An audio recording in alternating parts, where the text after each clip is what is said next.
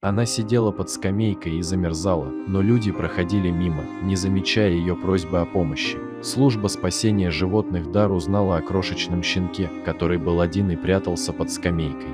Люди проходили мимо нее и только размещали ее фотографии в Facebook с просьбой помочь ей. Как ни странно, однако, никто на самом деле не остановился, не поднял ее с холодного асфальта и не помог ей. Всем было жалко потратить на нее свое время. Она была такой маленькой и вся перепачкана грязью.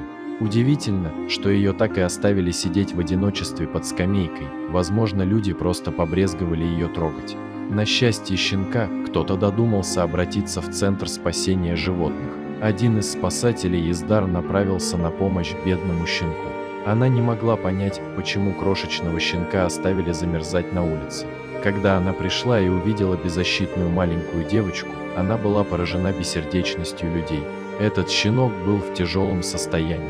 Долго она бы не выдержала на улице в одиночестве. Спасатель завернул ее в теплое одеяло и посадил в машину. Пришло время отвезти ее к ветеринару.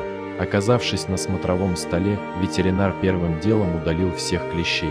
Их было очень много. Ее глаза также были поражены инфекцией.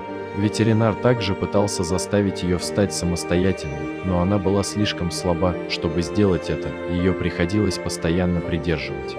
Но по ней было видно, что она не сдалась, она продолжала бороться. Помимо недоедания, из-за чего у нее было сильное истощение организма, у нее была анемия из-за большой потери крови от паразитов. Наконец, маленькому щенку принесли еды и воды, и она вдоволь наелась и напилась. Она была в восторге когда она в последний раз ела, никто точно не знает. Малыш был в плохом состоянии, но они работали круглосуточно, чтобы сделать все возможное, чтобы малышка снова стала здоровой и начала радоваться жизни. Никто не может предсказать будущее, что бы с ней случилось, если бы она так и осталась одна на улице. Но теперь, когда она в безопасности и о ней заботятся, ее будущее выглядит намного радужней, чем раньше. Лечение пошло ей на пользу, уже через неделю она самостоятельно бегала и играла с волонтерами, радостно виляя своим маленьким хвостиком.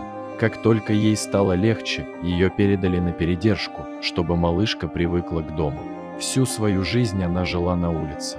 Когда щенок адаптируется, ей начнут искать любящих хозяев, которые подарят ей тепло и заботу. Пожалуйста, не забывайте делать все возможное, чтобы поддерживать спасательные организации и приюты в вашем городе. Вместе мы действительно можем сделать большую и хорошую работу.